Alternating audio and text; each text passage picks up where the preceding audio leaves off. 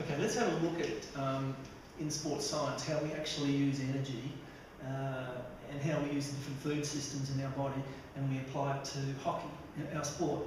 this just doesn't apply to hockey, but it actually applies to anybody who's overweight or has diabetes or heart disease. This can be of immense benefit to those as well. So first of all, let's just look at how you, what, what is energy and how do you make it. If this is a cell in the body, you know, and you've got millions and millions and millions of cells, Inside every cell, in the mitochondria, there's a chemical called ATP. That's short for adenosine triphosphate. And that's energy. The more you make of it, the, the better you feel. The more the cells do their job properly. And how do you make it? Well, it's really simple. You breathe, you drink, and you eat. Hmm. And the cell gives off carbon dioxide, and it gives off water, and it gives off waste products. Now, the cell itself, how you make this, the cell itself doesn't know whether you're eating a McDonald's hamburger or a piece of fish or a piece of rice or dal or whatever. All it does is break it down into the components that it needs to produce this chemical. And this chemical powers, it's the engine of a cell, it powers the DNA of the cell to tell it what to do, whether it's an eye cell, a liver cell, or a muscle cell, but that's what powers it. Now, these are really important because if you don't breathe, you die in four minutes. You know, if you don't drink, you probably last a week. But if you don't eat, you depends how fat you are.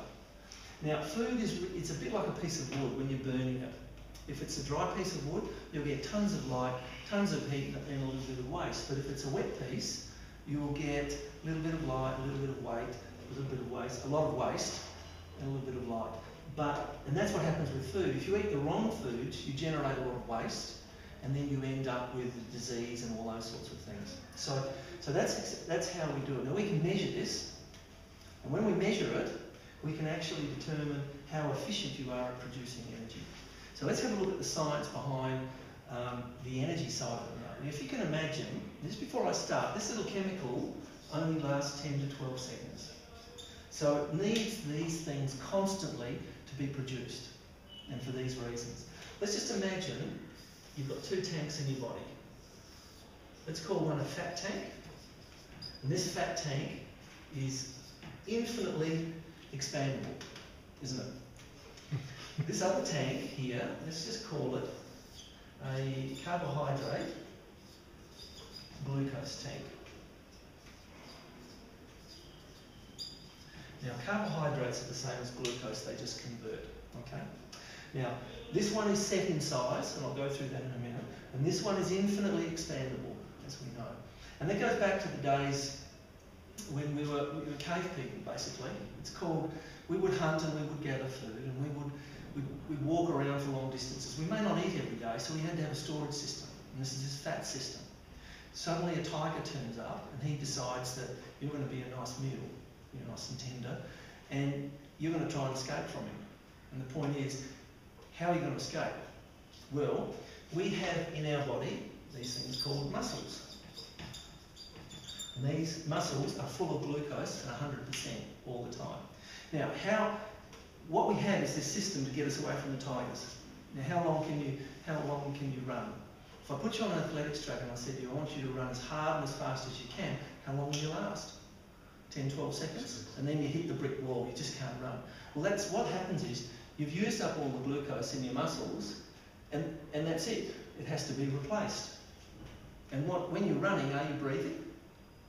You're just, it's called an anaerobic process. Now, this tiger, if you haven't escaped from the tiger in 10 or 12 minutes, seconds, you're his dinner. Now, we don't have tigers anymore. We have bills, husbands, wives, children's, politics, cricket, hockey. We have all these things which are very stressful, and that's what a tiger does. It creates a stress situation, so you're in a state of getting away from the thing that's causing the stress. Okay? But the trouble is, the wives and the husbands and the bills, they don't give up. they continue on all the time, so they never give up. So how, how does this all work? Well, very simply, your liver can store somewhere between roughly about 60 and 90 grams of carbohydrate. Okay? And that's the storage system that your body uses. When it when you eat more than that, when you put more carbohydrate, it actually overflows out of this tank, and I'll explain that in a minute. But the most important thing that you have to realise is there's one organ of your body that requires glucose continuously, and that's your brain. Okay? That's your brain. Now, the brain requires a constant supply of glucose. It cannot store it. So if you have excess glucose in your body, you become hyperglycemic, and you have less glucose that your body needs, you become hyper, hypoglycemic. So you need glucose constantly. The problem is, and this is what happens in sport, but it happens in, in life as well, is if you have excess glucose, the symptoms are very clearly tiredness, lethargy, fuzzy thinking, hand-eye coordination drops up up to 40%, you will lose two lines in an eyesight chart, anxiety uh, are all symptoms of having excess glucose in your system. Now in sport, that's particularly important because if your hand-eye coordination drops off and your judgmental skills drop off, you're not performing at an optimal level. So it's really, really critical. Now what in turn happens then is when you have excess carbohydrate. Now we use a machine called an indirect calorimeter. It's called an e-scan machine. So what it does is it tells us how efficient you are at producing energy, but it tells me where you are in this cycle, in this picture. So for our athletes, what we're looking at is that we want to be burning fat all the time. We, we're burning glucose obviously as well for our muscles, and but primarily we don't want to be in a position where we are not thinking clearly, when we our judgmental skills are poor. We want to be running optimally. So what typically happens is when we have excess glucose, there is a chemical released called insulin. Now, it's a very, very powerful chemical, very powerful. It is designed to get rid of the excess glucose in your blood. Because if you don't, you'll die. And if, you, and if this continues on for too long a period of time, you'll end up diabetic with heart disease, all those other diseases, cancer and all those types of things. So this, is, this was never designed to be released today like it has. We have an excess of, we have an epidemic in India of overweight people with heart disease. Same as in Australia, same as in the USA. And it is for this reason. And let me explain. This is caused by dietary means, excess carbohydrate. It's what causes it. When excess, you eat excess carbohydrate, which is in excess of what your liver holds, insulin is released. But what happens is the primary reason is to get rid of the blood glucose, but it has a secondary effect that most people don't realise. When that chemical is present, you cannot burn fat. So everything you eat gets stored in this tank which keeps growing. Therein lies the problem on a general basis. Now, from our hockey point of view, it's very simple. What we try and do is we measure our athletes and we control the food they eat prior, two hours or three hours prior, we know exactly the type and mix of food that they need to eat. So this tank sits around about 101, 102% full. So that after they warm up, the tank's around about 99% full. So we no longer have this situation where we are thinking not clearly in our judgment skills. We're actually performing optimally for our body. And because we are not, we are partially aerobic, and partially anaerobic sport. When we're sprinting, it's anaerobic, and when we're jogging and running, it's aerobic. It's a, it's a, a good balance of performing optimally. When we talk about, just diversifying a little bit, we talk about the energy that comes out of the different systems.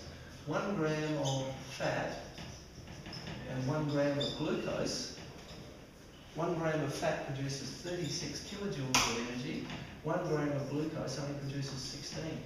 So you get more energy out of burning fat. Mm-hmm. And, and how do you make this ATP? It's very simple.